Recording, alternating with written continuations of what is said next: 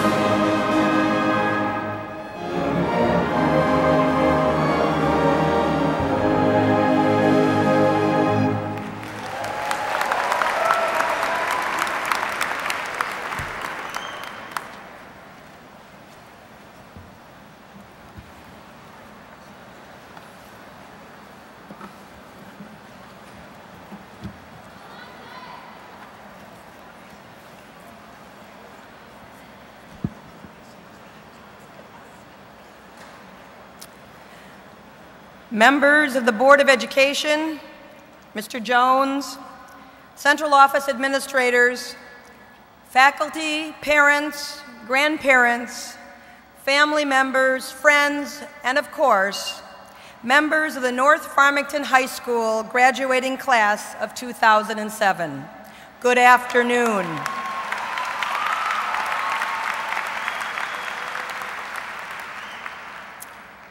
It is my pleasure to welcome you to the 2007 graduation of North Farmington High School. I'm pleased to join you today to celebrate this important milestone and to spend a few minutes reflecting with you about the significance of this graduating class of 2007 and opportunities for success beyond high school. As this is a dignified ceremony, we ask that no air horns or whistles be allowed during the proceedings and we appreciate turning off the cell phones. We thank you very much for your cooperation. To the graduates, today we celebrate an important milestone in your life. Your high school graduation is a significant accomplishment, and we are all very proud of you. But these commencement exercises represent more than the completion of your formal schooling. They also represent for you a new beginning, hence the term commencement exercises, the beginnings of the next stage in your life as an adult. But to start, let's begin by reflecting on what and who has contributed to this important milestone. Certainly, it wouldn't have happened if it wasn't for the contributions of some very important people. First, the Farmington Public School District is an important component of your success. It is represented here today by the Board of Education, its faculty, and staff. Thus, it is my pleasure to introduce the members of the Farmington Board of Education who are with us today. These outstanding citizens are committed to providing the students of Farmington and Farmington Hills communities with an excellent education from preschool through high school. I'll ask the board members to stand as I call their name, and I'll ask you to hold your applause until the end. So please join me in welcoming Mrs. Karen Bolson, President, Howard Wallach, Vice President, Frank Reed, Secretary, Priscilla Briette, Treasurer, Debbie Brower, Trustee, Sheila Clay, Trustee, and Gary Sharp, Trustee. Please join me in giving them a round of applause.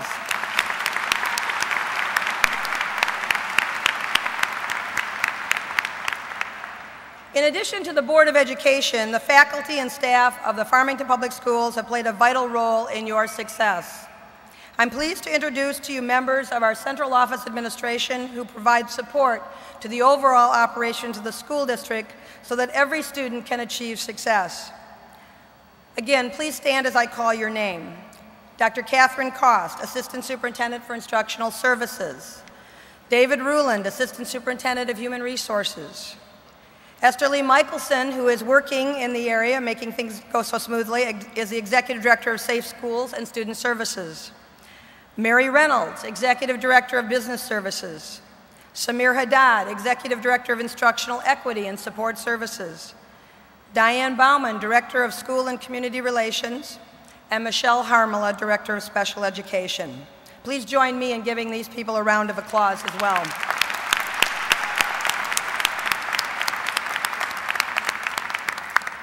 Since coming to North Farmington High, you've been served by an outstanding group of educators, teachers, counselors, and support staff. Many of them are here today to pay tribute to you. I would like the graduates and their parents to recognize these outstanding educators, and if they would please stand so we can give you a round of applause. Please stand on the stage, teachers, faculty.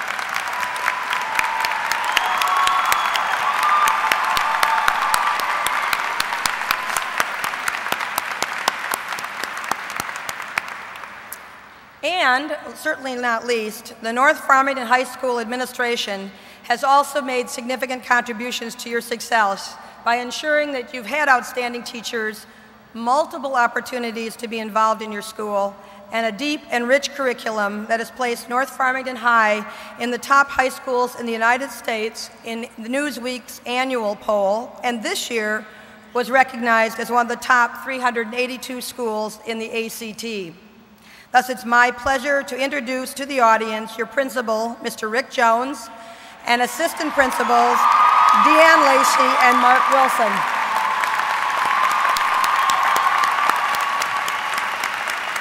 And please join me in recognizing your senior class advisor, Mr. Kevin Ozar. Please stand. Kevin.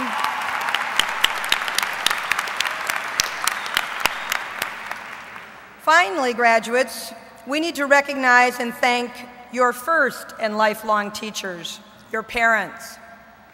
Your parents have taught you the basic lessons you will need throughout your life. They've encouraged you to not give up when you've failed. They've given you focus.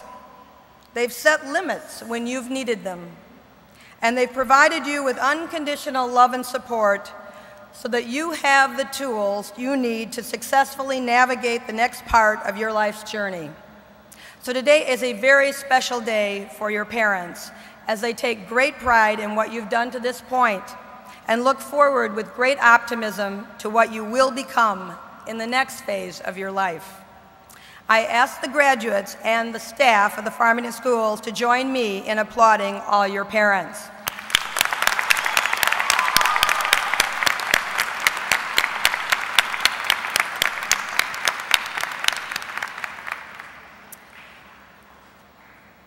One of my favorite quotations is from Gandhi Be the change you want to see in the world.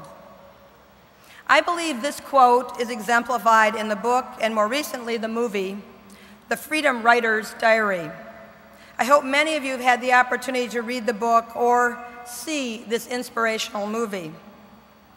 It's the incredible real life account through journal entries of 150 so-called at-risk potential high school dropouts from Long Beach, California, a diverse urban suburb outside of Los Angeles, and the tale of their naive first-year English teacher.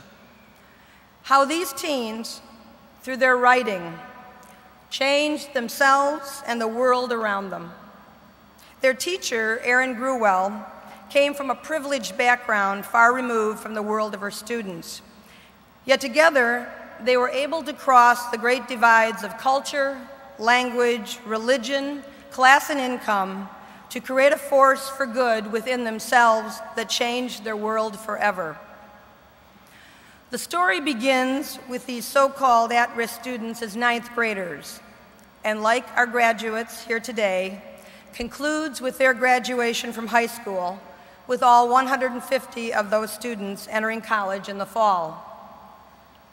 Through their four years, four high school years, a metamorphosis occurs. They start off disaffected, disconnected, angry, engaged in gangs, and isolated within their own racial and ethnic groups. But after reading the Diary of Anne Frank and raising funds for a readathon for tolerance, they arranged to meet Miep Gies, the courageous Dutch woman who sheltered, much to her own peril, Anne Frank and her family in her home during the Holocaust. Then the students read Zlata's diary, A Child's Life in Sarajevo, the real life diary of a child growing up in war torn Bosnia. They decide to write letters inviting Zlata Filipovic to come to the United States, to California, and amazingly, she does. Meeting her, they discover that Zlata, who is also 15 years old at the time, is no different than they are. She likes the same music, she likes the same clothes, and they share the same interests. This is when it becomes clear to them that they would carry Anne and Zlata's message of tolerance as their cause. They learned from Zlata and from Miep Gies that ordinary people, just like themselves, can do courageous things to make the world a better place. Taking the name Freedom Writers from the Freedom Riders of the 1960s civil rights movement, they used their writings to become the change they wanted to see in the world. Just like the Freedom Writers, you have learned to become the change you want to see in the world. You have spent these past two years engaged in two interdisciplinary studies that have inspired you to become courageous leaders for change. In your junior year, you learned about the 1960s, a period of great upheaval and change in our nation's history, a time period when many young people like yourselves risked their own lives to stand up for a cause they believed in.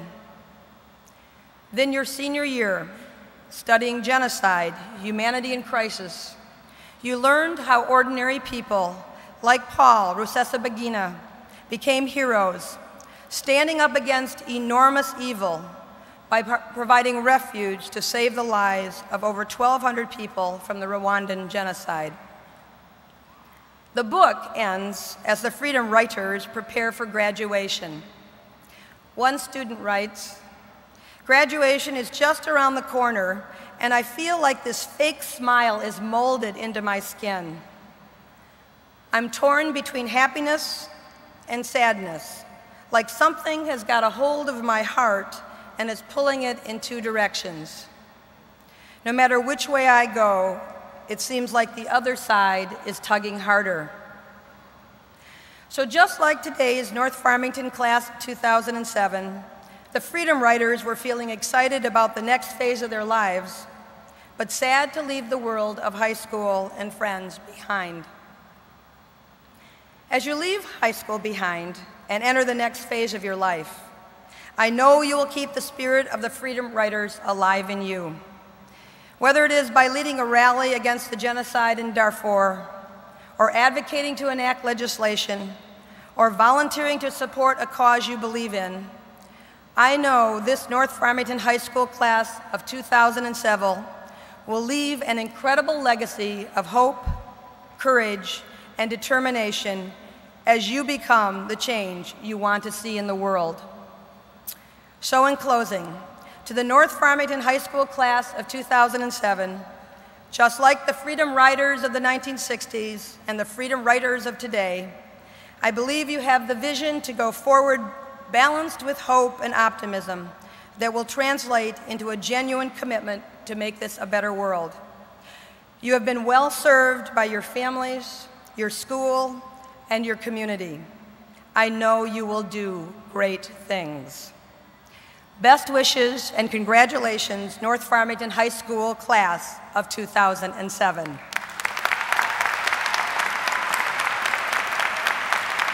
And now it is my pleasure to introduce the president of the senior class, Amber Rozizi.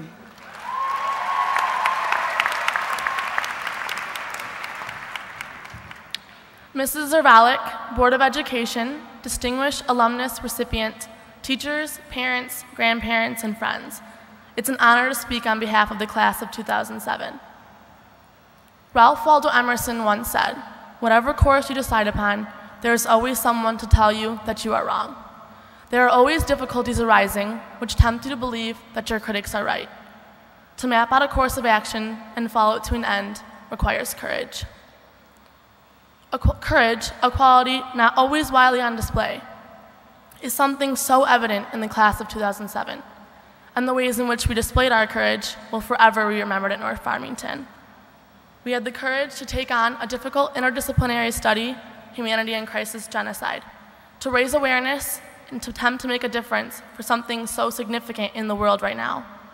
The courage to embrace the unknown and fight that which displeased us because we know we shouldn't have to settle. We had the courage to be role models, to set examples, because we know we should sacrifice our own pride for the common good. We had the courage to embrace a school culture where it's okay for everyone to belong. We are extremely fortunate to attend a school such as North Farmington. With its consistently high academic standards, we grow through the constant challenges we are lucky to face. I use the word lucky only because that is exactly what we are. We are lucky to have teachers, parents, counselors, advisors, and coaches who challenge us and believe in us each day. They challenge us to make us grow. They challenge us to show us that there isn't anything we shouldn't attempt, that we really can accomplish anything. And we did. With courage, we faced interdisciplinary study, our heads held high, mature, setting examples, knowing the underclassmen would follow. Mr. Jones once said to me, if any class can set the tone for an interdisciplinary study on a topic as difficult as genocide, it's the class of 2007. The interdisciplinary study was not the only challenge the class of 2007 faced throughout our four years at North. Each year, we made decisions that would change our high school career for the better or for the worse. We chose what classes to take, what sports teams to try out for, and what clubs to join. And we asked ourselves, if I do this now, is it going to change my life forever? The answer was yes. High school, as we learned, shapes the person you'll become. Sure, we will go on to change even more throughout the next steps we take in life, but North will always be where we started. It will always define much of who we are. This realization, although audacious, was the reason we conquered yet another challenge with courage. We made tough decisions and moved on to our next feats because we knew that's what it would take to become the people we are. We knew we'd face situations that would try our character. We did it, though, with courage. Soon, we were faced with the toughest of them all, next year and beyond. For some, it was whether or not to attend college, to go into the military, or to go to work. For others, it was which one to attend.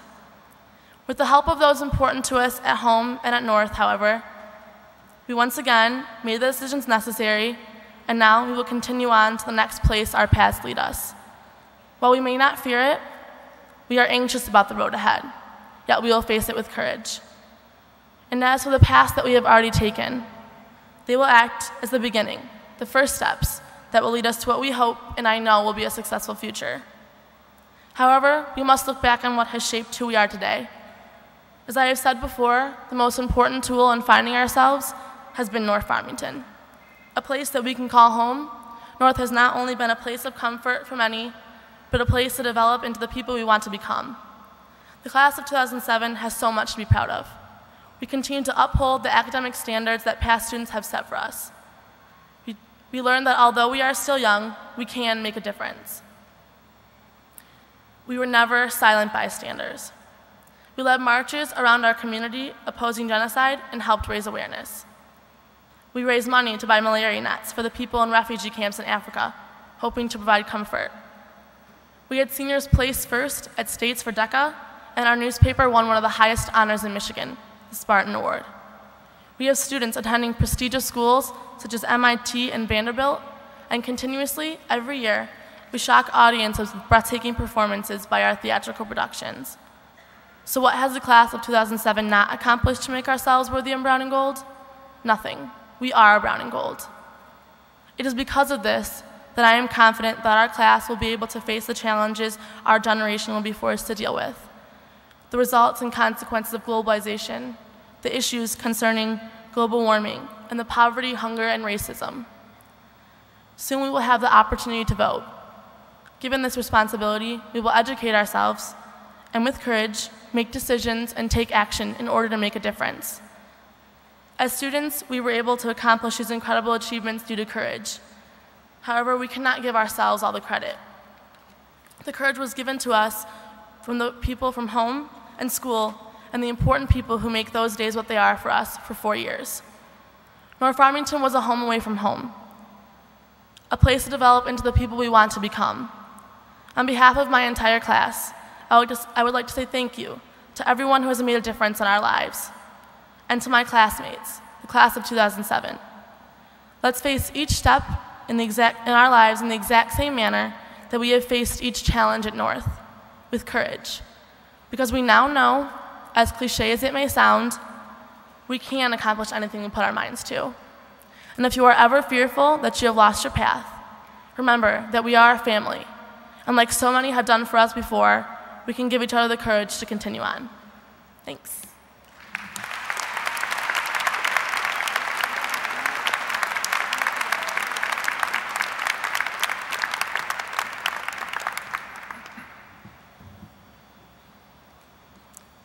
Mrs. Zurvalec, Board of Education, Board President Amber, distinguished alumnus recipient, faculty, families, and friends, as principal of North Farmington High School, it's my distinct pleasure and honor to present the North Farmington High School graduating class of 2007.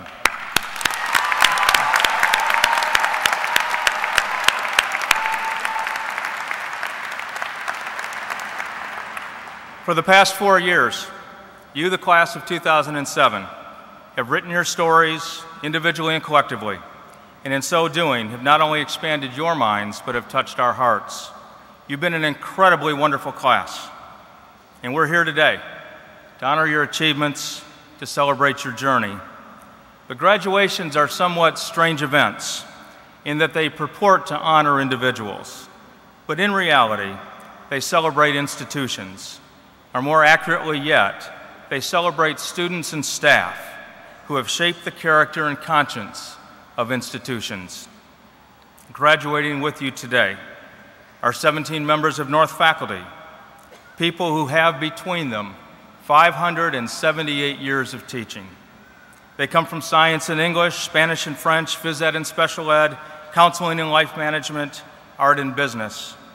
Jan Carlton, Louise Conway, Barbara Dubb, Karen Fader, Pat Foster, Susan Grant, Lenore Hawkins, Christine Hosman, Mary Keene, Carol Kunzel, Linda Letherman, Pam Soffren, Jack Schulman, Chuck Stenius, Bev Schmidt, Julie Wilson, and Jane Williams. These 17 marvelous people who have made teaching their life's work have served generations of families who call North Farmington home. They embody so much of our history, so much of what defines who we are as a place of learning. Their dedication and service, commitment and caring, passion and professionalism have shaped the lives of students indeed have shaped the life of this wonderful school. To each of you, please know that as you enter retirement, that we appreciate your vision, your talent, and your spirit.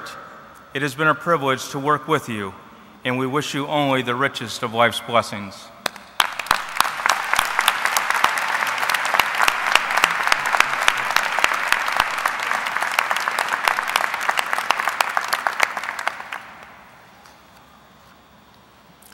Earlier this year, back during Spirit Week, Class Color Day, dozens of seniors crowded into the front lobby chanting, 07, 07, 07, and I clambered into the middle of them and began to chant 67, 67, 67. Amid all the noise, I believe only one senior heard me, and she began to laugh hysterically. And then she commented, 67? 67, you really are old. Now, she was either being serious or just teasing me. Now, obviously, I prefer the latter interpretation over the former. Nevertheless, it caused me to pause. 40 years. Why, it seems like it was just yesterday. Yet it's been 40 years since I graduated from North. 40 years since graduation 1967, the occasion where I had the honor to speak to my class, as Amber did with you, but I can assure you, with not nearly the grace or eloquence. But in that 40 years, so much has happened. The Great Society, rioting in the streets, an assassination in Memphis, another Kennedy slain in LA, the Chicago Seven, Eight Mile, Motown, Hollywood, a Black Fist Olympic salute, one small step for man, one giant leap for mankind, Title IX, one giant leap for womankind, Woodstock, Watergate, CIAs, PTAs, PLOs, the fall of Saigon, a presidential resignation, a presidential pardon, a presidential peanut farmer, hostages in Iran, an Olympic boycott, John Lennon shot, Bless You Boys, Bad Boys, Challenger astronauts, Reaganomics, Cold Wars, Hot Wars, Apartheid, and Iron Curtains coming down. The first George Bush, Desert Storm, If the Glove Don't Fit, You Must Acquit, HIV, AIDS, We Are the World concerts, Bill, Hillary, Monica, Impropriety and Impeachment, Kurds and Serbs, Rwanda, Somalia, and Sudan, Columbine, Lord Stanley's Cup, skyrocketing health insurance, skyscrapers coming down, terrorist cells, Ground Zero, Al Qaeda, George W., a war in Afghanistan and a war in Iraq, No Child Left Behind, tsunamis, Katrina, global warming, white collar crime, same sex marriage, school spending, big three, auto unions, identity fraud, Virginia Tech, downsizing, outsourcing, and out of breath. 40 years. 40 years, as it seems, in the blink of an eye. And in that same 40 years, so much else has happened college, grad school, falling in love, 34 year teaching career, two kids, three rabbits, 10 cats, two granddogs, lost four grandparents, buried a father in law and a brother, walked two daughters down the aisle, celebrated a 35th wedding anniversary, and worked with the most amazing students, colleagues, and families that anyone could ever ask for. I routinely wear two rings my wedding ring and my North ring, which I have on today. They both mean so much to me, although Kathy on a regular basis challenges me as to which one means the most. But as I said, they both mean so much to me. They both keep me grounded, reminding me of responsibilities, obligations, and those things that really matter my family, my friends and my work. And of course, as you graduate, that's what we wish for you family, friends, and meaningful work. We trust that your education, values, and understanding of what's important will allow you to make decisions, impact policies, reduce conflict, and improve quality of life. Your education here and beyond will give you the capacity to cope with new ideas to respond to new situations, to foster independent thought, to embrace and respect difference, skills which will largely define the ultimate success of your generation. I'm confident that I can speak for all of the adults here when I say that we wish, indeed we pray, that over the next four decades, your generation will find answers to pollution and pandemics will author solutions absent assassination and war, will mend broken promises of never again, will put principles, that's PLE, before products, will champion people before bottom lines. We wish, indeed we pray, over the next 40 years that you find time for both theater and stadium. Find time to climb a mountain and stare at a lake that you find time for good long walks and good long books. We wish, indeed we pray, over the next 40 years that you find time to meet the demands of your kids and the demands of your boss and balance them accordingly. We wish that you find time for travel to distant lands and time for candlelight dinners at home. We wish, indeed we pray, that over the next 40 years that you have a lifetime of enlightened conversations and engagement in important causes. We wish for you in the next 40 years, the realization that in building a more just, healthy, and self-fulfilling life for your children, that there is no choice but to contribute to the same destiny for all children. Finally, I wish that you would invite me to your 40-year reunion. Yes, I still plan to be here, not necessarily at North, but still here. And that when one of you says, you really are old, that you won't laugh hysterically, but will quietly say, hey, you, Mr. Class of 67, I think you'd be proud of us. We really made a difference. Now, Ms. Wilson, members of the best Board of Education in America, I certify that the members of the North Farmington High School graduating class of 2007, sitting before you, have completed all the requirements of the Farmington Public Schools and its Board of Education, and that they should be expected to lead, to make a difference, and be allowed to graduate today.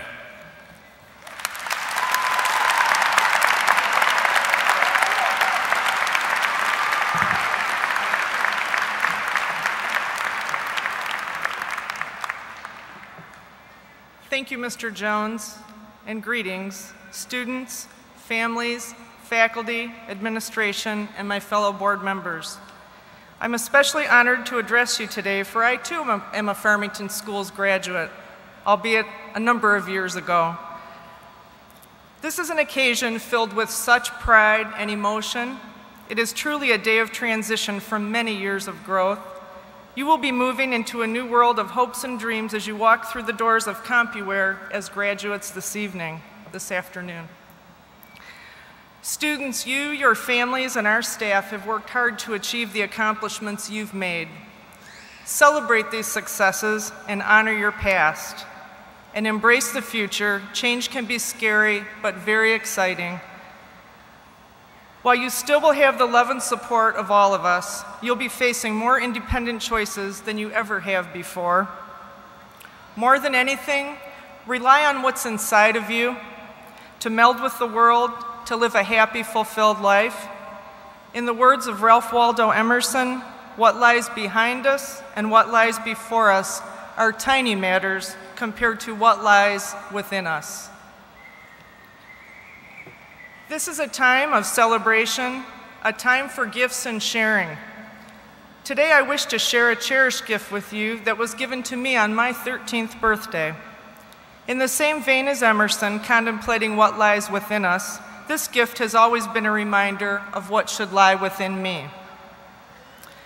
In celebration of my first birthday as a teenager, my brother and hero, Hank, wrote me a letter with some simple yet sound thoughts. He was 22 at the time when he wrote this note, a North Farmington graduate, a member of the Raider class of 1965. His message was simple, however, Hank never knew at the time he wrote that letter the impact it would have on the rest of my life. He died in a car accident 11 months later. Nearly 38 years hence, I still cherish his words and use them as a guideline. I'd like to share them with you as you begin a new phase of your life. His words of wisdom to me were I am giving you some brotherly advice which I think will help you enjoy life and appreciate it to a fuller extent. He went on to write A few facets of life which I consider extremely worthwhile are love, education, sincerity, hard work, integrity, and the appreciation of others. Please remember these, Karen, your loving brother Hank. Let's take just a few minutes to ponder his thinking. Love is vital to our existence. Without love and appreciation for others, life's material successes are empty and meaningless. A full and happy life is so much more than how much money you earn, how many degrees you have, or how many honors are bestowed upon you. I don't mean to discount any of those achievements. They're all admirable and often desirable parts of a successful life. But in our fast paced world today, we sometimes lose sight of the fullness in life, of the importance of the relationships we make with friends or siblings, parents, and our other loved ones. I agree with Mrs. Zurvalec as she mentioned in her speech, turning to one another is vital to the world. Education, it is the gateway to your future. Learning need not be confined to classrooms or universities into the early years of life. You must explore learning forever in books and newspapers, in conversation with trusted colleagues, and with those whom seem different in opinion or appearance from you. Engage all your senses in learning by appreciating art, music, and nature. Search to broaden your thoughts and the thoughts of others. There is so much to learn, and as you build your basis of knowledge, reevaluating what you once thought is a constant struggle and a joy. Oliver Wendell Holmes Jr. stated, Man's mind, once stretched by a new idea, never regains its original dimension. Educated men and women are not necessarily those with the most degrees, but those who seek knowledge until their days are done. We encourage you to do both seek degrees in formal knowledge and be informal learners for the rest of your life, however old you are and wherever you may be. Sincerity was my brother's third thought. Sincerity is underrated. In this world of awesome, I find myself pausing when I close a note or letter with the phrase sincerely. In some ways, it seems old fashioned or boring, but it is still appropriate, appropriate because it is important to mean what you say and say what you mean in a kind but honest way. To me, that is sincerity. Hard work. Find your passions and love what you do. Then hard work is fun and a joyous part of life rather than a laborious time spent doing what you're supposed to do to earn a paycheck. That doesn't mean that on the quest to this passionate work, there won't be segments of jobs that aren't tedious and annoying. Nothing in life is a perfect fit immediately. We need to grow into our work and make our career what we find rewarding. Integrity was the final concept Hank shared with me in his special letter. Integrity has two meanings. Incorruptibility is the first. Being honest and standing up for what you think is right is evidence of strong character. Secondly, integrity or integration, as in the thought of unity or completeness, support the concept of developing your whole self, making sure life is fun and meaningful while you strive for success. Love and appreciation of others, the importance of education, integrity, sincerity, and hard work are important concepts that my brother shared. But even more importantly, he took the time to share them with me. He gave me the gift of a lifetime by writing that note. Without him here to tell me, I have known for 38 years that he cared about me and loved me. It made a huge difference in my life as I faced my teenage years without him by my side as a friend. I tell this story to you because I want you to realize the importance of not waiting to tell those you love how you feel. We never know the twists and turns life holds before us, and you may not have the chance in the future. So take the opportunity now and throughout your life to nurture your loved ones and make a difference in their lives, as my brother made in mine. You and your parents have been shaping what should lie within you throughout the last 18 years. As you grow and mature and develop your fortitude as an adult, Make a conscious effort to gauge your progress against what you think should lie within you to develop a full and happy life. Take time to reflect on who you are and who you want to be. As our 16th president, Abraham Lincoln, once said, In the end, it's not the years in your life that count, it's the life in your years. Congratulations and blessings to you, our graduates, and all of our families. And finally, what you've all been waiting for, on behalf of the Board of Education and the entire Farmington School District, by the powers invested in me, I hereby declare the class of 2007 of North Farmington High School to be officially graduated.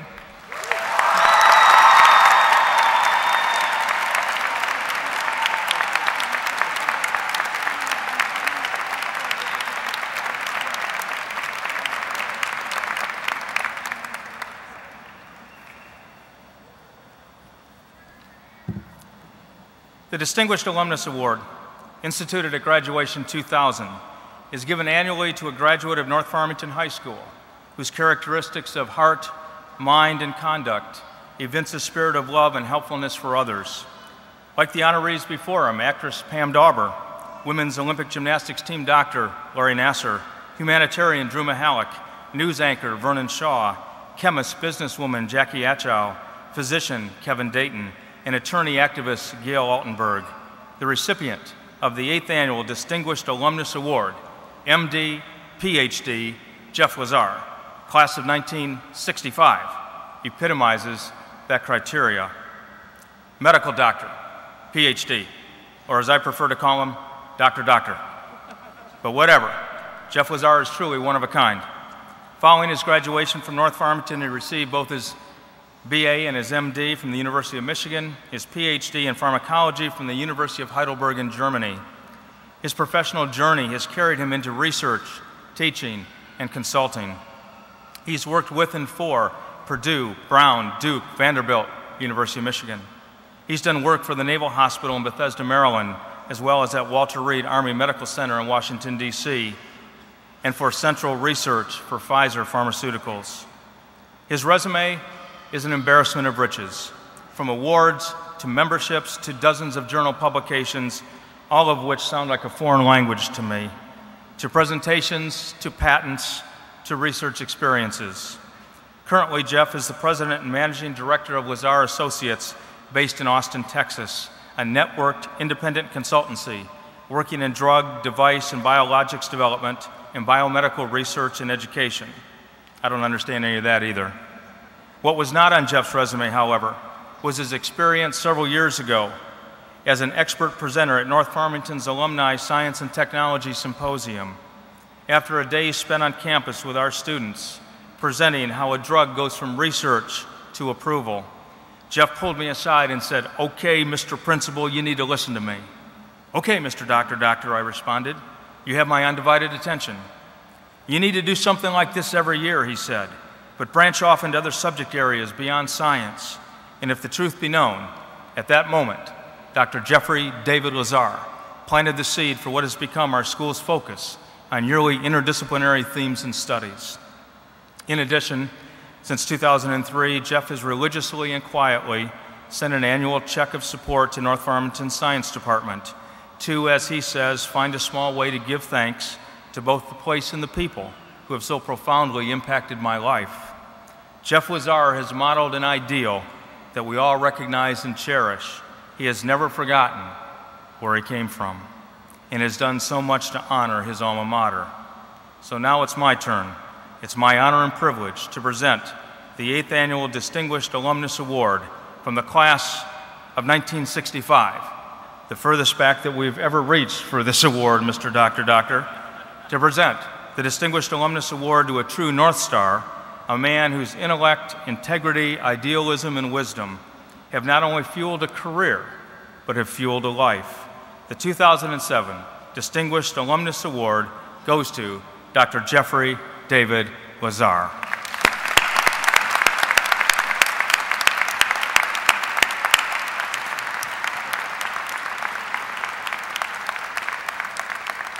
Jeff will receive uh, a frame medallion. Uh, there's a permanent plaque will be hung in the halls at school, as you know, and he'll have a, a brick engraved in his honor at Holland Field. Dr. Lazar.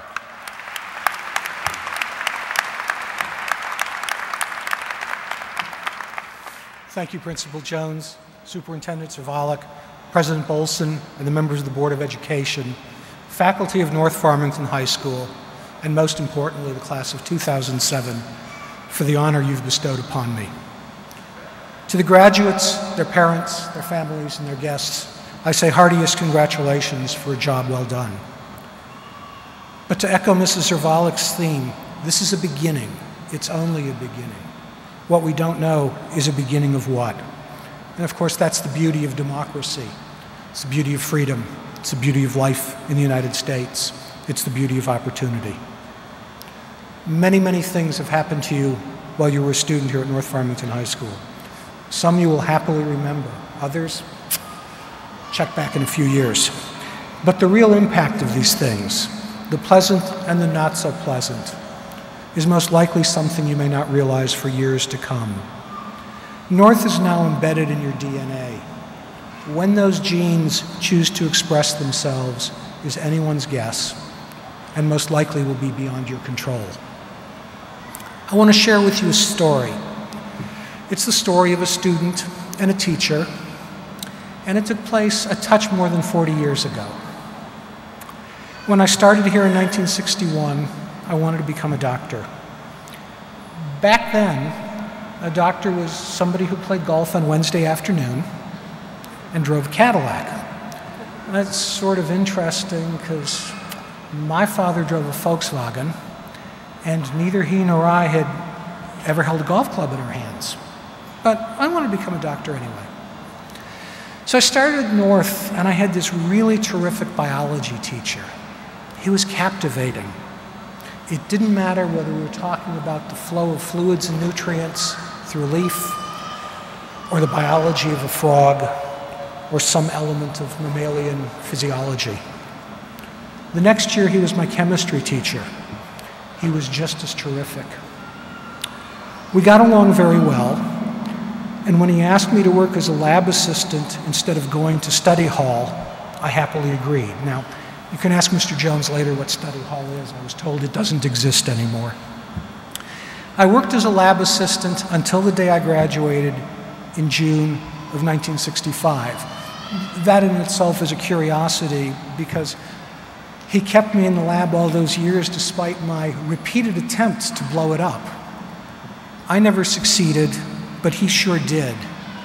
And along the way, something happened to me I became infected with scientific curiosity. My DNA got changed. In other words, I wanted to become more than a practicing physician. I headed off to Ann Arbor, and Mr. Jones has already suitably embarrassed me by telling you the rest of the story. But that's not the point of my talk. The object is not me. The object is you and its teachers, and its one teacher in particular as you listen to the rest of what I have to say, I want you to start thinking and never stop about how you might give back to the school. One of my lawyer friends recently used the term give forward. I like it. Give back and give forward. I've always loved the theater. Let me set a scene for you. The luncheon guests were seated around the table discussing life. One man the CEO of a very prestigious corporation, decided to explain the problem with education. He argued, What's a kid going to learn from someone who's decided that his best option in life is to become a teacher? He reminded the guests what they say about teachers those who can do, those who can't teach. To stress his point, he turned to another guest and said somewhat haughtily, You're a teacher, be honest. What do you make? This teacher, like many of your teachers who had a reputation for honesty, frankness, forthrightness, said, You want to know what I make? And he thought for a second. And then he began. He said, I make kids work harder than they ever thought they could. I can make a C plus feel like a Congressional Medal of Honor. I can make kids through, sit through 40 minutes of class time when their parents can't make them sit for five minutes without a TV, a computer, a DVD player, an iPod, or whatever. You really want to know what I make, he said. He paused again, looked at everybody at the table. I make kids wonder. I make kids question. I make kids criticize. I make them apologize and mean it. I make them have respect and take responsibility for their actions. I teach them to write, and then I make them write. I make them read, read, and read some more. I make them show all of their work in math. I make my students from other countries learn everything they need to know in English while preserving their unique cultural identities. I make my classroom a place where all of my students can feel safe. And finally, I make them understand that if they use the gifts they were given, if they work hard and follow their hearts, they can succeed in life. The teacher paused one last moment, and then he continued. Then, when people try to judge me by what I make, I can hold my head high and pay no attention because they are ignorant. You want to know what I make? He said. I make a difference. What do you make? It's a nice story. Mr. Jones told you five years ago about our inaugural science symposium, as we called it then, now the multidisciplinary symposium. And he told you that I pledged an endowment to the science department. It's now fully funded.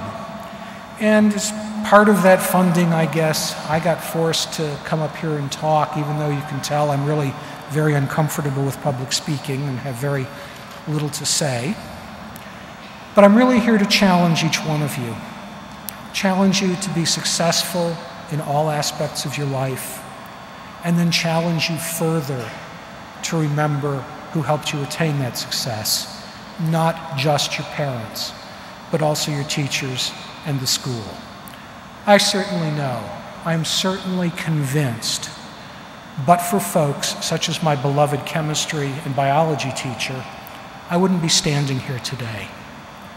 So don't leave and never come back. Leave and develop a deliberate plan to come back, be it one year or 10 or even 40, however many it is, Rick.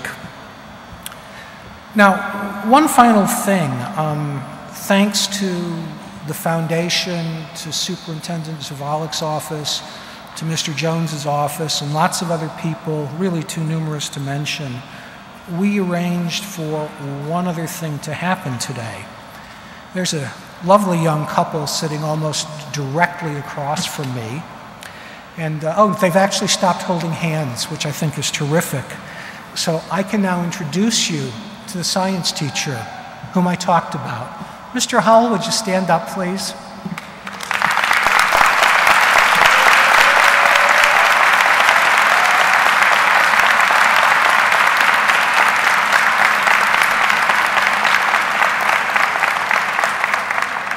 This is the man to whom I owe the greatest thanks for launching me on this marvelous ride, this career of mine.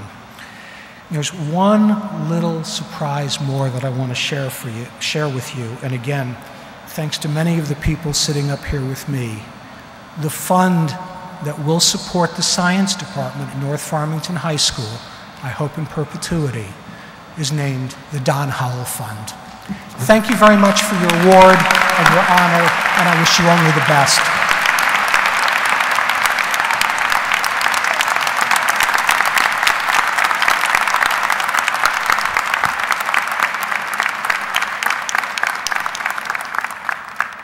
This is a little awkward because I'm not sure Jeff really wanted me to do this, but the Don Howell Endowed Science Fund, the seed money from Jeff is $50,000.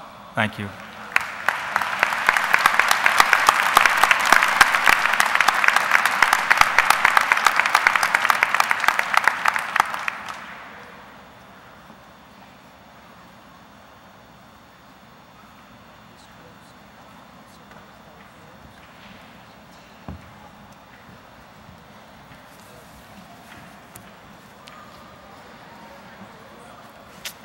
Each year, the North Farmington senior class concludes their high school experience by giving a senior gift. Since the graduation of 2000, this gift has been formally announced at the graduation ceremony. Today, it is our turn. This gift symbolizes our gratitude to the students, teachers, and administrators of North that have shaped our high school experience. Preceding classes have given such gifts as benches, a patio, and other physical improvements to the school. The most memorable gift of past years will be the towering grandfather clock standing tall at the entrance of Holland Field. It is with great pleasure, pride, and sincere gratitude that we, the North Farmington High School class of 2007, present to the school a two-part senior gift. The interdisciplinary study, Humanity in Crisis, that we pursued this year has shaped the essence of our class. The class of 2007 is characterized by two attributes rarely seen in high schools today. As we have learned about genocide and the effects thereof, our class developed the compassion necessary to turn apathy into empathy and awareness into activism. The class of 2007 is marked by an unparalleled solidarity with the sufferers of the gravest violations of human rights. As we saw Paul Rusesabagina, as well as survivors of the Armenian genocide and the Holocaust, and after having heard their stories and having heard of the atrocities that they had first handedly endured, we went out and decided we would not tolerate those same crimes on our watch. From our NETS fundraiser, buying nets for people in refugee camps to alleviate the calamity that is malaria, to meeting with representatives holding rallies and letter campaigns asking the state of Michigan to divest from Sudan, this class has been involved, unlike any before it, in truly changing not only our community, but our world. The spirit of giving our time, our money, and our voice to those around the world who are impoverished and voiceless is a product of four great years at North. As we conclude our high school experience, I am proud to announce on the behalf of the class of 2007 that the first portion of the class gift will be in line with our year long efforts.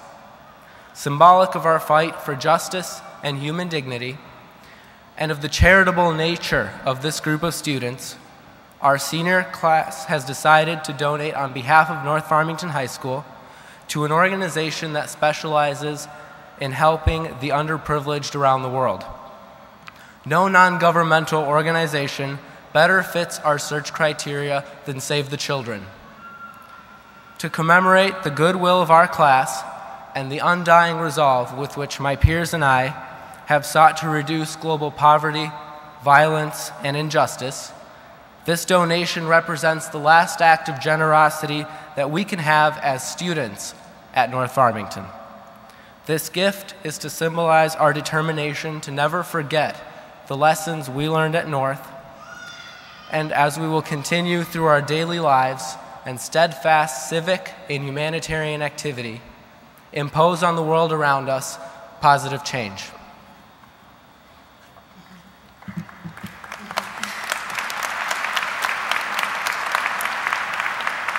Along with this donation, we realize that without North, we would not have had the environment in which we came to thrive. We found causes to become passionate about due to our interdisciplinary studies. In order to preserve the quality of ongoing studies, a portion of our gift will go to the study fund itself to ensure future students the same opportunities we were given. This will fund such things as special speakers, community book reads, and the commemorative edition of the Northern Star newspaper, which reflects the spirit of the study, providing the community with a tangible model of our efforts to go above the standards of a normal high school. We are proud to donate the second portion of our gift to next year's study, Our Town Detroit, There's No Place Like Home. We would like to thank the senior board, the class of 2007, and especially our parents for supporting this gift. And thank you especially, North Farmington High School.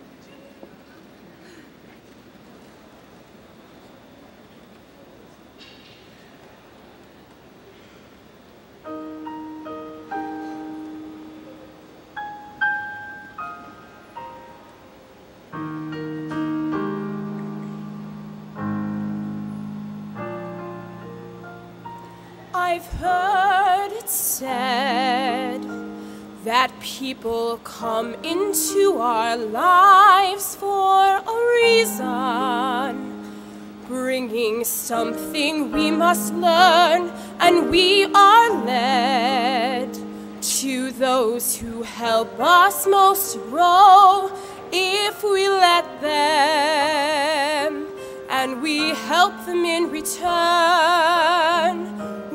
I don't know if I believe that's true, but I know I'm who I am today because I knew you. Like a comet pulled from orbit as it passes the sun, like a stream that meets a boulder.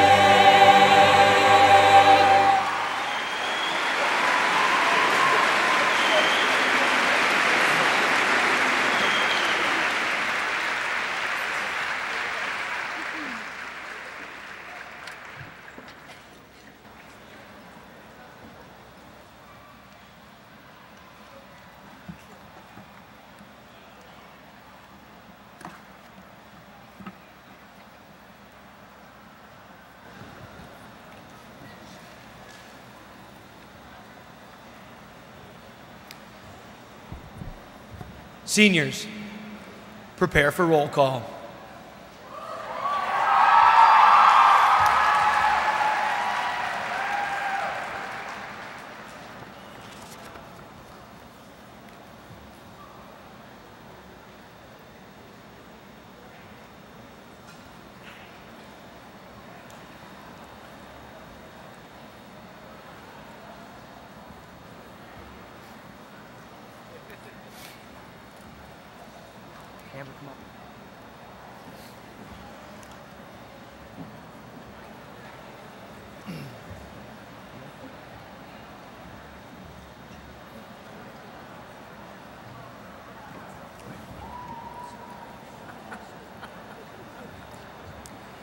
Amber Rosizi. Laura Evangelista. Samantha Feinberg. Yu Lee. Ashley Kaplow.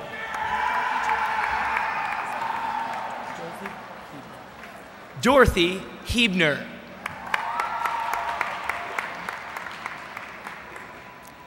Yasmin Abdul Hamid.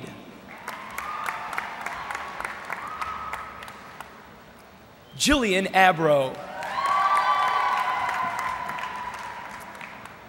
Alyssa Abruzzo. Ashley Adro Pearson.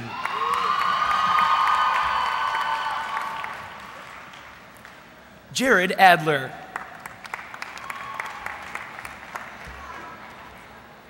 Andrew On.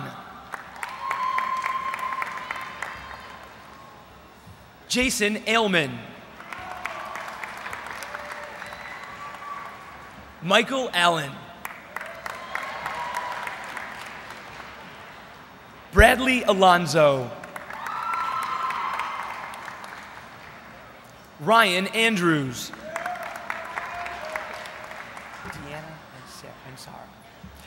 Deanna and Sarah. Peter Anthony.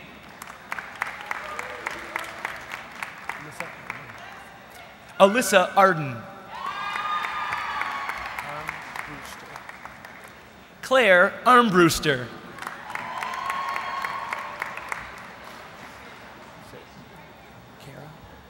Kara Arndt. Jacqueline Arnold. Silva Arslanian. Christine Audette.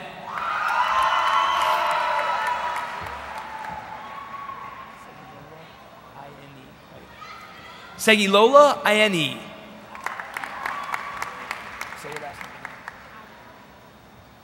Elizabeth Iorende. Katya Bashrush.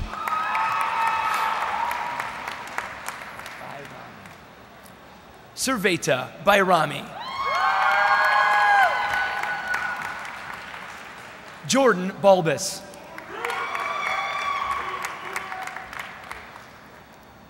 Ashley Barker. Jamaria Batiste.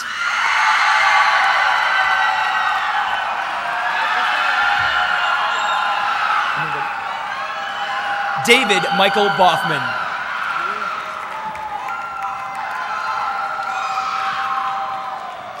Anthony Beal.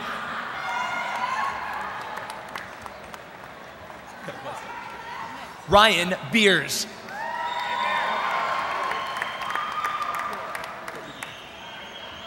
Alante Beatty.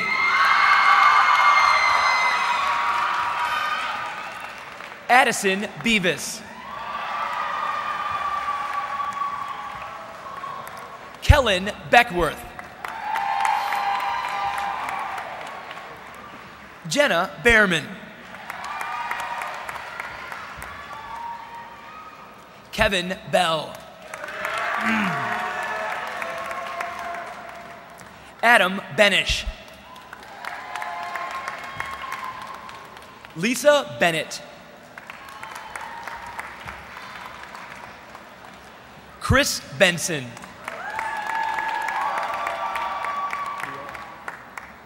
Lior Barris. Stephen Battelle. Michael Bickerstaff. Jonathan Bills. Samantha Blair. George Blake.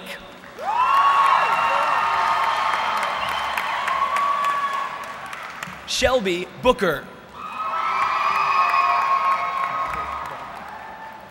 Michael Bowman. Matthew Brown. Caroline Brozovich.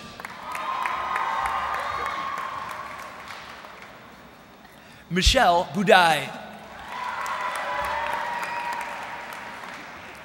Kevin Bernstein.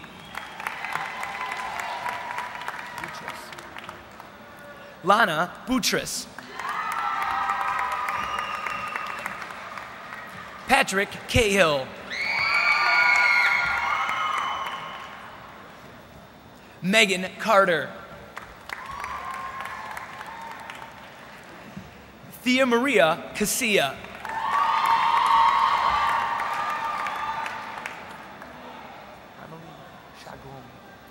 Amelie Chagron.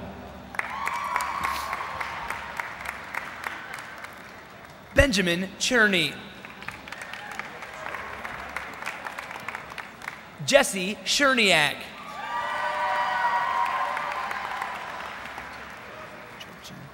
Jacqueline Chopchin. Steve Chow. Aaron Clark. Amanda Clevey. Allison Cohen. Zachary Cohen. Stacy Comstock. Jeffrey Cormier. Max Cornfield.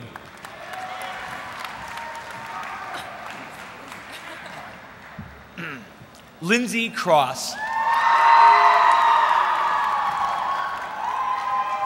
Nicole Culp. Kyle Cummings. Muhammad Kumalai.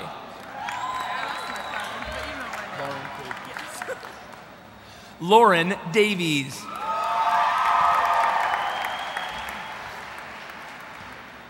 Brandon Davis. Horia Derjma, excuse me, Horia Derjmarescu.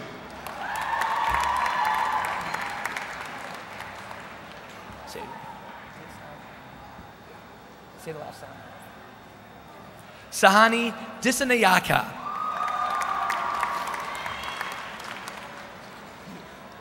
Stephen Doty. Elizabeth Doyle. Elizabeth Drucker. Jacqueline Duchesne. Amy Dunn.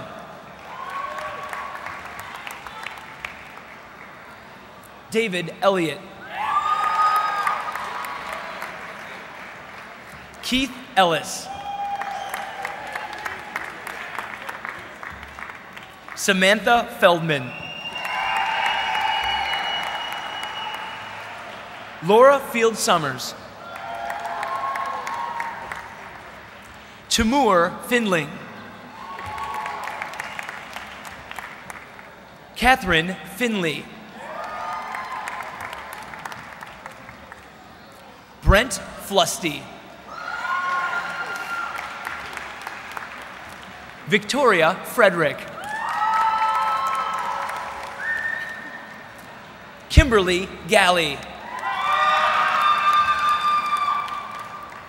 Lauren Galper. David Gamu. Sarah Gamu. Stephen Gappy.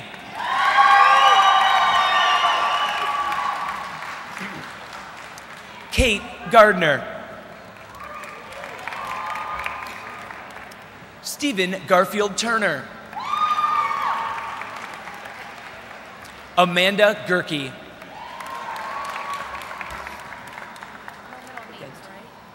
Nathan Genty.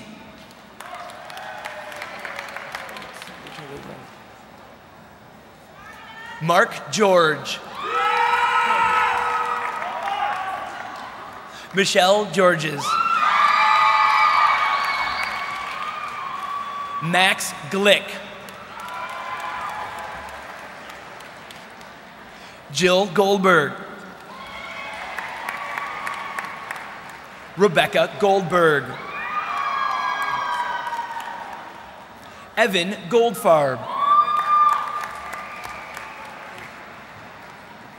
Alana Goldman. Netta Golenberg. Michael Galfetto. Robin Ganti. Erica Goodman. Mara Goodman. Shayna Goodman. Rachel Griffith.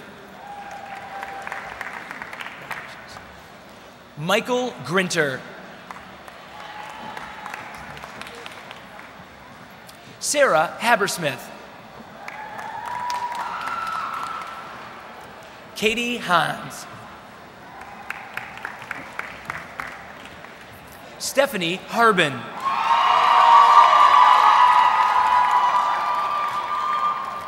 Kelsey Harper. Angela Harrison.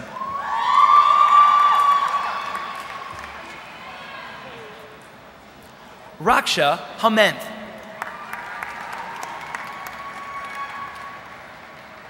Kayla Hassano.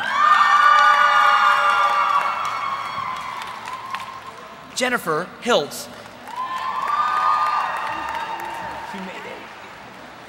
Eric Hong. Grace Hong. Jennifer Honig.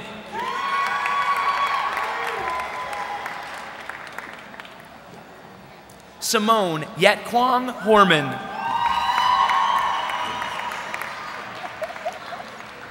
Kalia Humphreys.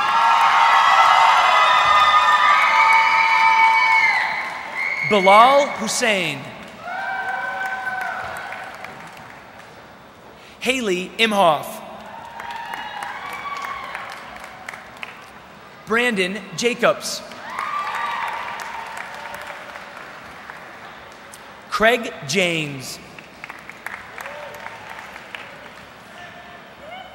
Angela Jargis.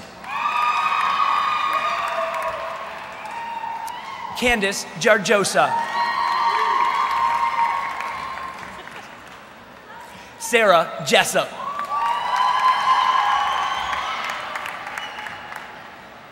Ashley Jones. Jennifer Kalish. Marnie Kalmus. Kevin Camus.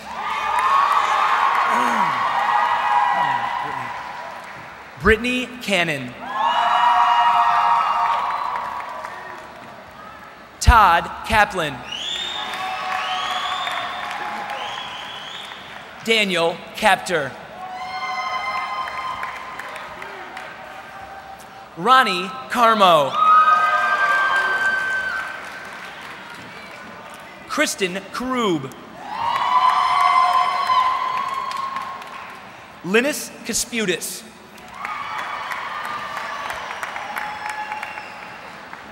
Brittany Kassab.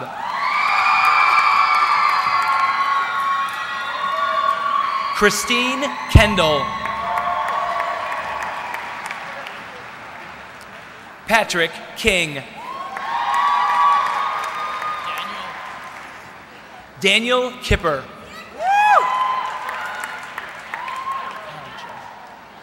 Angela Kanja.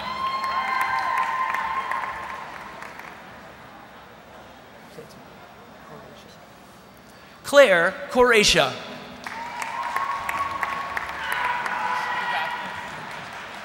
Brian Kostukovsky. Marissa Kresh. Eric Krisenfeld.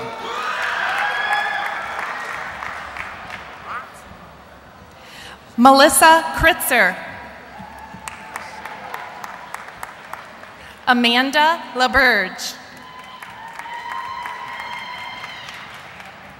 Troy Lambert.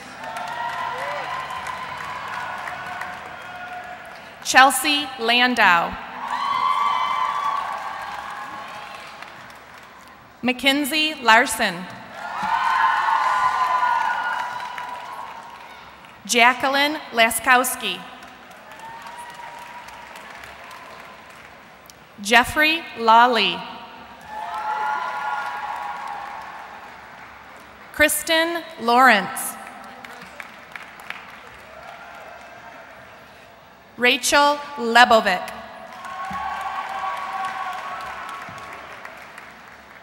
Danielle LaSurf. Eric Lee.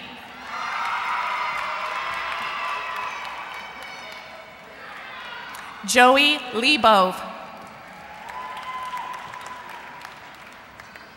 Timothy Leto.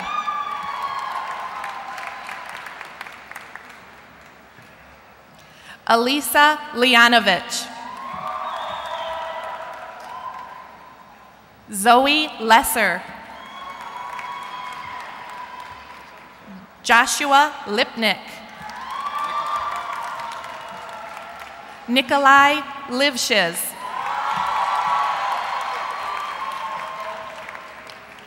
Alex Lowy. Elliot Laurie. Daniel Lubin. John Lutzai.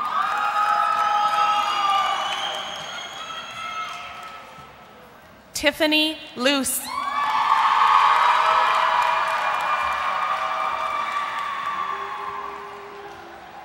Mary Catherine McDonald. Evan Mafasoli. Brian Maisie.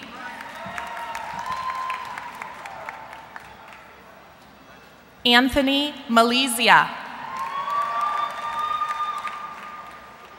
Aaron Maley.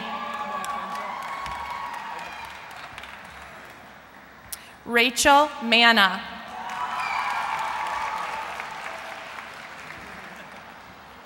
Ian Manuzak.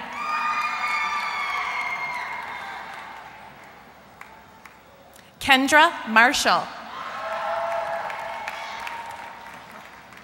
Paul Martin.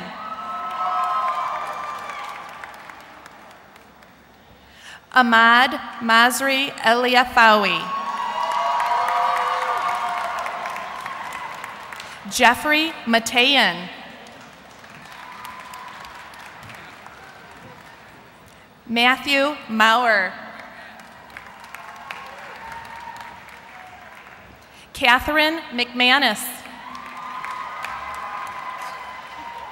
Robert Mihal. Jenna Michelin.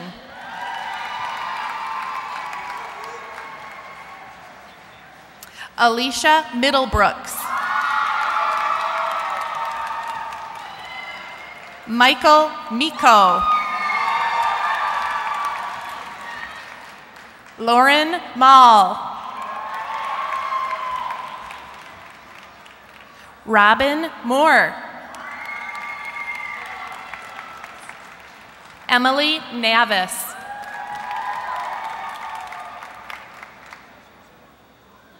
Alana Nettleman. Melissa Nestor.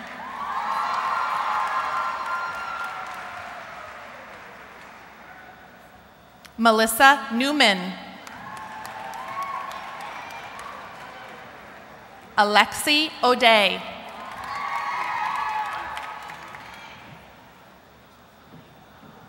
Jamie Olin.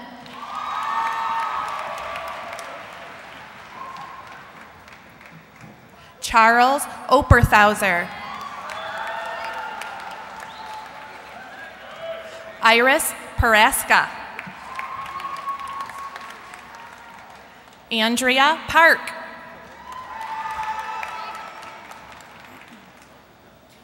Fadi Patah.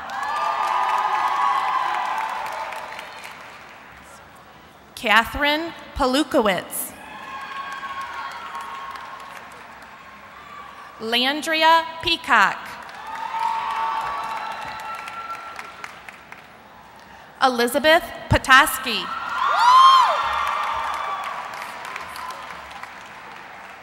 Emily Phillips.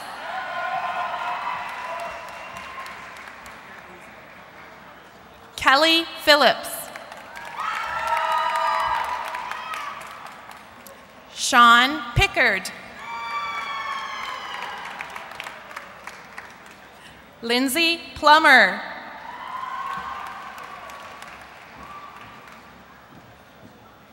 Caitlin Poyer.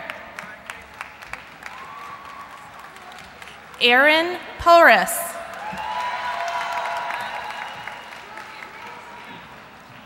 Charles Peretta. Devin Porter.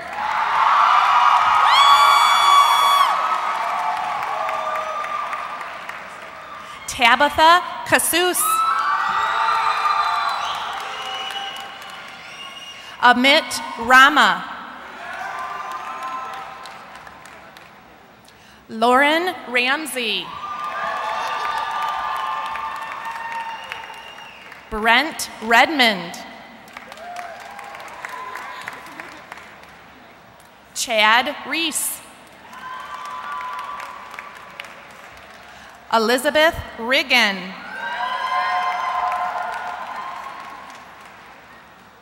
Sarah Ring.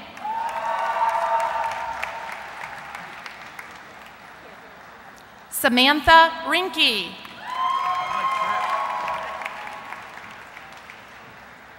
David Roberto.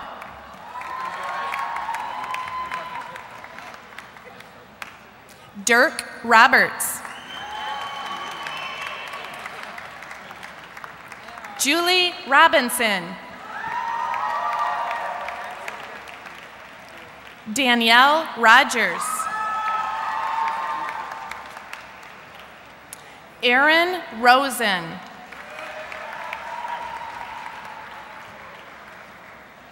Ilana Rosenblum. Amy Rosenfeld. Jeremy Rowe. Charles Ryan.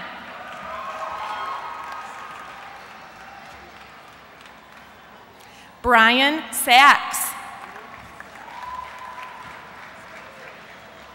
Danielle Sanders.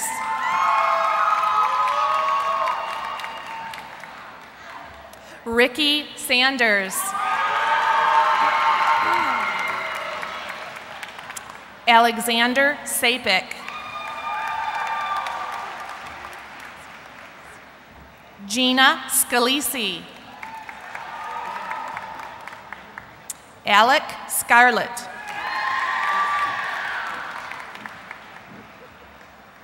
Angela Schmidt.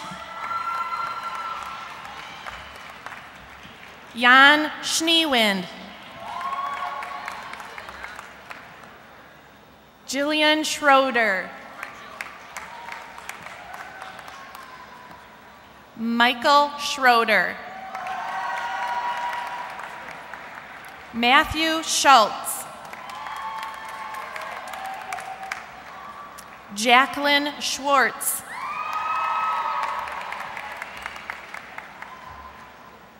Nicole Shamoon.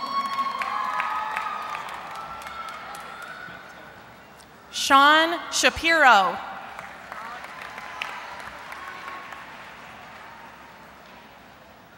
Antoine Sharp.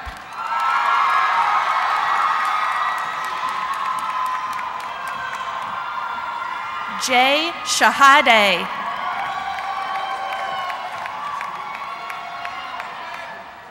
Stephen Sherbrooke.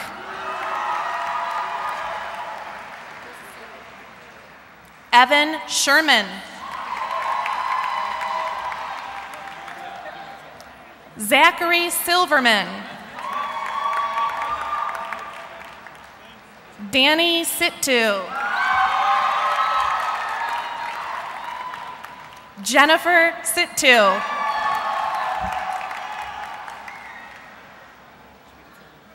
Angela Smedo.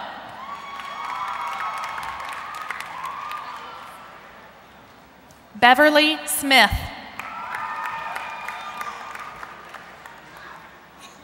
Deshauna Smith.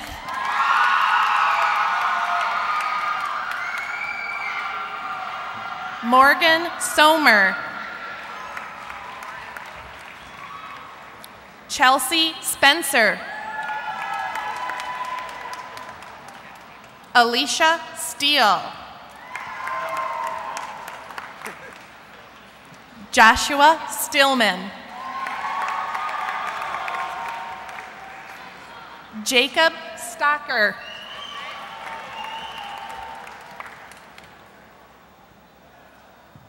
Melissa Stokowski. Carly Stolman. Seth Strasburger. Adam Sutcher. Shohei Suzuki. Gina Swadan. Evan Swinger. Michael Taub.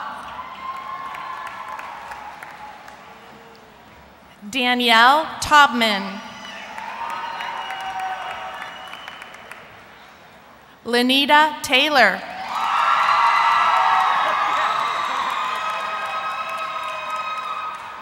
Caitlin Tetrick. Amanda Timmer. David Tobin. Kevin Tobin. Stephen Tomkovich.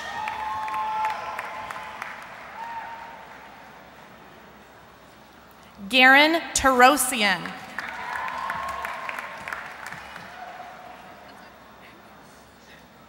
Andrea Tracy.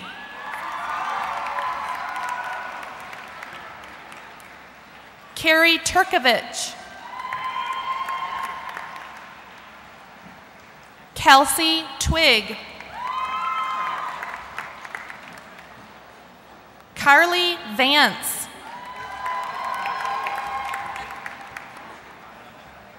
Matthew Vartanian.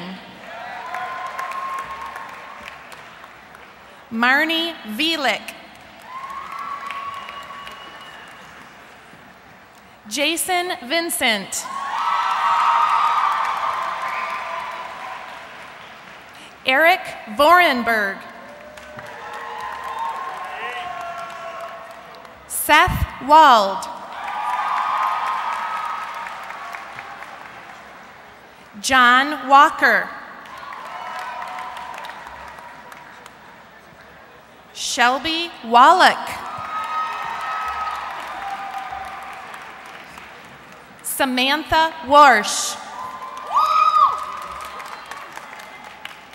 Emma Weaver. Brian Weisserman. Tal Wilner.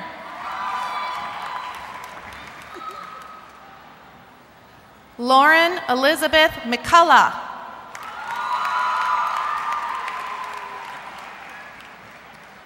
Shayna Wolk. Sharice Woolard.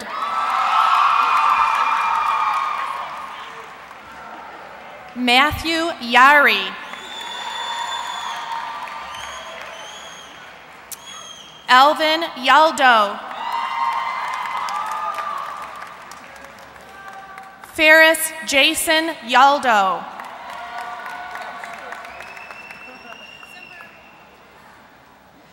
Emin Yelizarov.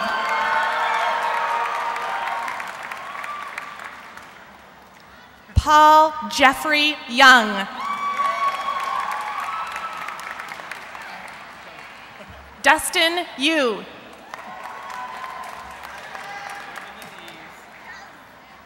Danielle Zaft.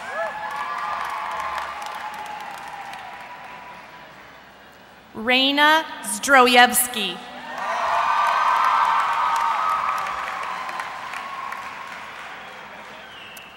Stuart Zeltzer.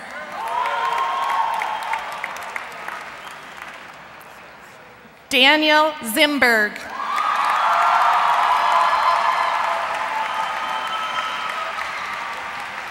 Just put them on here. We get them afterwards. Don't you think? Yep, definitely. Graduates of the class of 2007,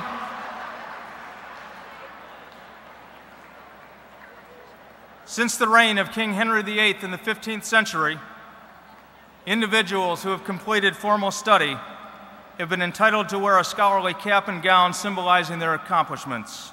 From this cap, your mortarboard, hangs a tassel. It has special significance and tradition as it represents your transition from student to graduate. Will the class of 2007 please rise? At this time, it is my honor to instruct you to move your tassel from the left to the right side of your cap, signifying your graduation. Congratulations. Now, graduates, prepare for the recessional.